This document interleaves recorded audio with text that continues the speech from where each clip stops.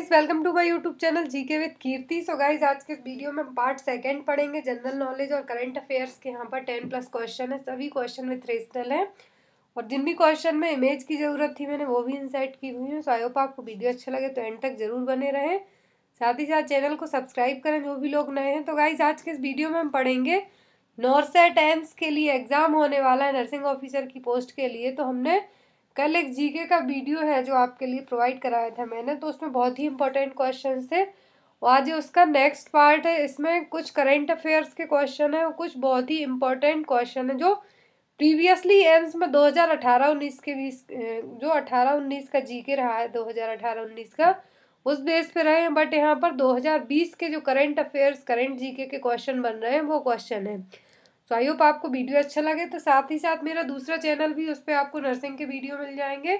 Medical and nurses सब आप उसको यूट्यूब में जाके सर्च कर सकते हैं, आपको मिल जाएगा। तो यहाँ पे चलिए, हम देखते हैं तो जो भी यहाँ पर क्वेश्चन है आपके लिए, चाहे वो एम्स का एग्ज़ाम देने वाले हों आप एक सितंबर को या फिर सी के लिए, या फिर दिसंबर में सी आर पी एफ़ का, सभी में बहुत ही इंपॉर्टेंट क्वेश्चन रहेंगे।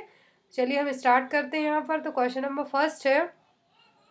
Who is the R B I governor recent में रिज़र्व बैंक ऑफ़ इंडिया के गवर्नर कौन है? ऑप्शन है यहाँ पर रघुराम राजन, उर्जित पटेल, शक्तिकांत दास और D Arvind Subramanian. So guys यहाँ पर आरबीआई के गवर्नर पूछे रिज़र्व बैंक ऑफ़ इंडिया के। तो इसके पहले थे रघुराम राजन, फिर उसके बाद उर्जित पटेल आए हैं और अभी करंट की बात की जाए तो 2018 से जो आरबीआई के गवर्नर हैं वो है शक्तिकांत दास। ये देखिए यहाँ पर, आरबीआई के रिसेंट में 2020 में अभी प्रेजेंट में जो गवर्नर है वो है शक्तिकांत दास और आरबीआई के दो पॉइंट और हम देख लेते हैं। तो एक तो एक इसका हेडक्वार्टर कहाँ पर है और दूसरा इसकी स्थापना कब हुई थी। बहुत इंपॉर्टेंट पॉइंट है आपके लिए।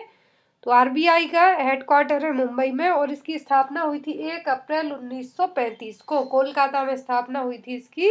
ये भी याद रखिए कि इसकी स्थापना कहाँ पर हुई थी। तो स्थापना कोलकाता में हुई थी, बट एट प्रेजेंट इसका हेडक्वार्टर है मुंबई में और इसके गवर्नर कौन है? Shaktikanta Das.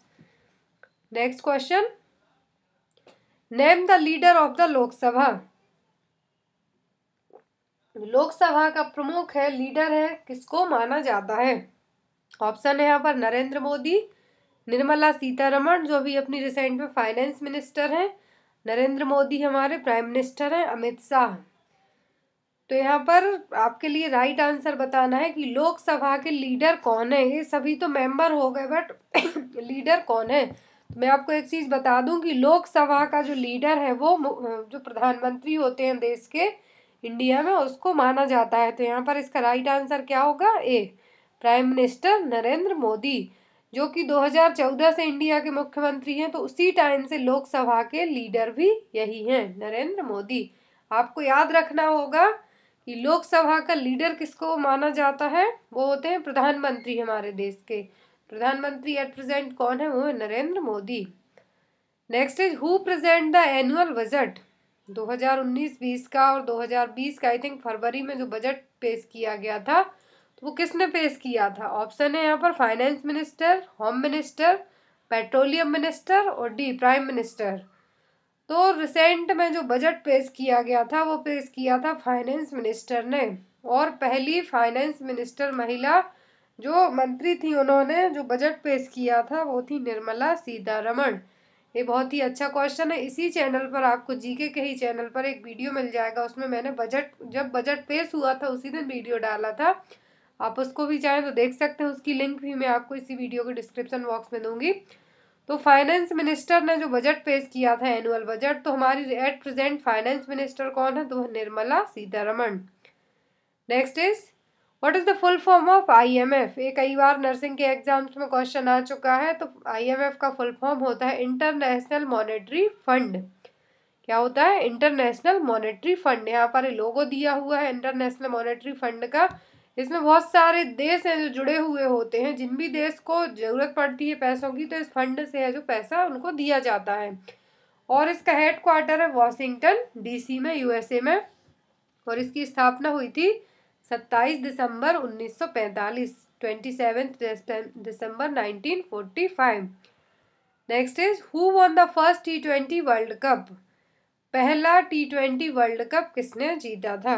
ऑप्शन है श्रीलंका यूएसए इंडिया और डी कनाडा तो पहला जो टी ट्वेंटी वर्ल्ड कप जीता था अकॉर्डिंग टू ऑप्शन की बात की जाए तो वो जीता था इंडिया ने 2007 में. पाकिस्तान को हराकर इंडिया ने 2007 में, सात में पहला टी ट्वेंटी वर्ल्ड कप जीता था. तो यहाँ पर राइट आंसर क्या होगा? C India next is name this women who is the first Indian to win a medal in badminton at the Olympics. तो किस वुमेन खिलाड़ी ने पहला है जो बैडमिंटन में जो पहला ओलंपिक जीता था? पहली इंडियन खिलाड़ी ने जिसने बैडमिंटन में पहला ओलंपिक जीता था।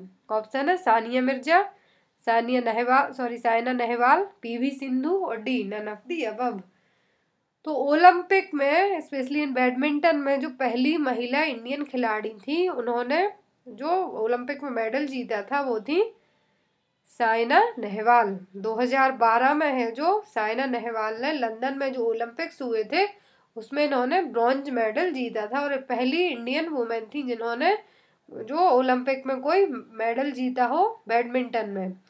तो India first ever medal in badminton at the Olympic games. 2012 में जो ओलंपिक गेम्स हुए थे उसमें साइना नेहवाल ने ब्रॉन्ज मेडल जीता था और इंडिया की पहली महिला खिलाड़ी थी, बैडमिंटन खिलाड़ी।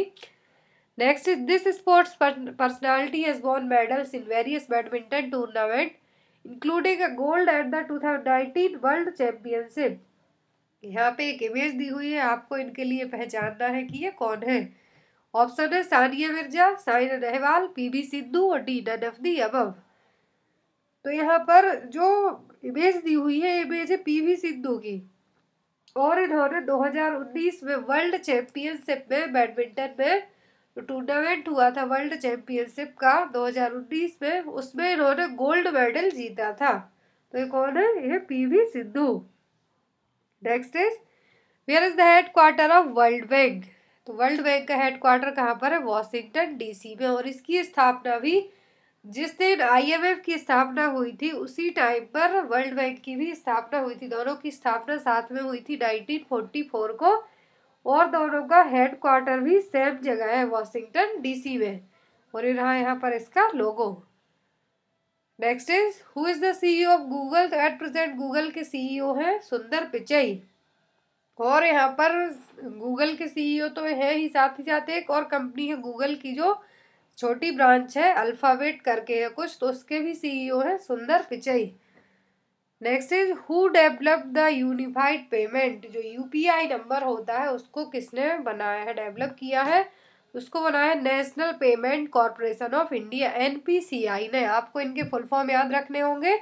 Unified payment that means UPI और जो यहाँ पर एनपीसीआई है तो इसका फुल फॉर्म है national payment corporation of India जिसने यूपीआई बनाया है। और एनपीसीआई का जो हेडक्वार्टर है वो कहाँ पर है? मुंबई में और इसकी स्थापना हुई थी 2008 में। एट प्रेजेंट इसके 1000 थाउज़ेंड एम्प्लॉय हैं। तो आपको ये सभी चीज़ें याद रखनी होंगी। नेक्स्ट एंड लास्ट क्वेश्चन है बहुत ही इंपॉर्टेंट क्वेश्चन है। अभी पंद्रह अगस्त के दिन ही एक स्कीम लॉन्च हुई है। वन कार्ड वन कार्ड और वन जो हेल्थ मिशन करके एक स्कीम हिंदी में बात की जाए तो यहाँ पे इंग्लिश में बात करते हैं। तो जो नेशनल डिजिटल हेल्थ मिशन, जिसको 15 अगस्त को लॉन्च किया है प्राइम मिनिस्टर नरेंद्र मोदी ने तो इसके लिए लॉन्च किसने किया है? नेशनल डिजिटल हेल्थ मिशन को तो इसको लॉन्च किया है नरेंद्र मोदी जी ने, जो चौहत्तरवा इंडिपेंडेंस डे मनाया है। हमने सेवेंटी फोर्थ इंडिपेंडेंस डे अभी रिसेंट में टू डेज़ पहले मनाया है।